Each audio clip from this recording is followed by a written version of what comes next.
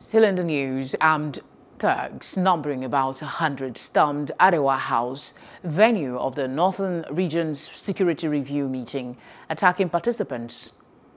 The hoodlums brandishing dangerous weapons stormed the venue of the event at about 11 a.m., cutting away valuables such as mobile phones and destroying property worth millions of naira.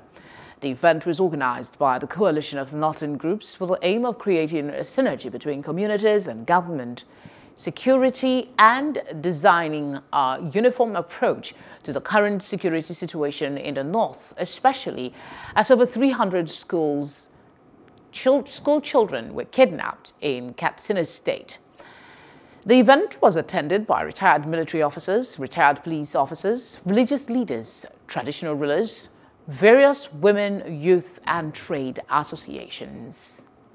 Hello, hope you enjoyed the news. Please do subscribe to our YouTube channel and don't forget to hit the notification button so you get notified about fresh news updates.